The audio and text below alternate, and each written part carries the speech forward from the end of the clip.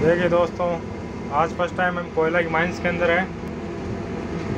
यहाँ पे देखिए खदान कार्य कैसा होता है, कैसे रास्ते बनाए जाते हैं।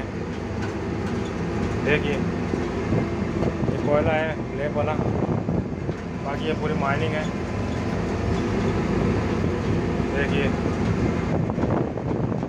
कोयले खान है यहाँ से अंदर से कोयला निकाला जाता है, कच्चा कोयला, उसको पकाया जाता है।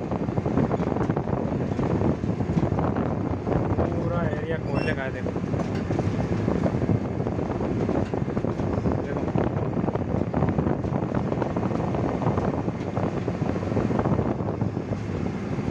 रास्ता तो मारता हुआ जा रहा हूँ। बारह नंबर मशीन की तरफ़। ये कोयले खान अपने बीकानेर के अंदर है। अंदर से।